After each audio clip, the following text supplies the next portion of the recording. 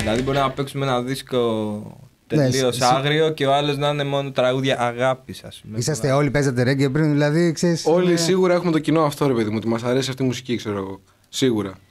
Και Αλλά... σίγουρα δεν παίζουμε ρέγγι. Ναι, δεν παίζουμε Απλά reggae. Ναι. ανήκουμε στη ρέγγι, ας πούμε, ναι, underground κοινό. Υπάρχει ένα γενικότερο μπάχαλο, ας πούμε, στον κόσμο, όχι στην Ελλάδα μόνο. Παγκόσμια. Υπήρχε, εμάς μας άγγιξε τώρα έτσι, και, και, λίγο. Κάνει κύκλο αυτό το πράγμα. Κάνει κύκλους απλά.